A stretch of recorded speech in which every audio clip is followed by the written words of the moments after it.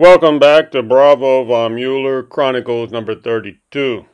I am working on a case right now, case number two, which is to be uploaded on my main Bravo von Muller channel in about an hour or so. This case involves Donald Trump, Larry Ellison, and the San Mateo sheriff raid on this guy here that makes Batmobiles. No, you cannot make this shit up. It's so it's so bizarre. So it is August 2nd, 2022 today. It's Tuesday, and again I am working on case number two that will be uploaded over there on my other main channel, Bravo von Muller channel.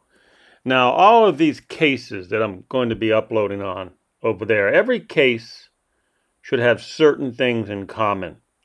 The cases should have greed, they should have corruption, they should have examples of bringing in traitors into our country to destroy us from within. That really is the theme of all the cases that I'm going to bring before you.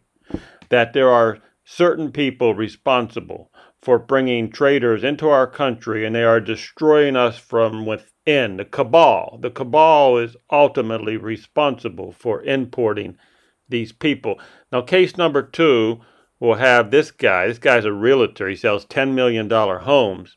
And apparently, because he sells $10 million homes, the sheriff here, the sheriff San Mateo, does as he is ordered. Now, remember, you do not become sheriff of a county without the approval of the richest man of the county. Now, the richest man in that county is Larry Ellison.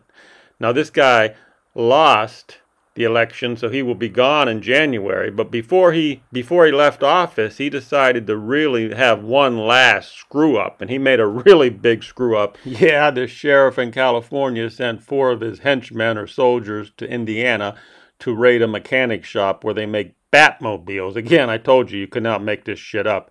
I will upload case number two to my main channel in about an hour.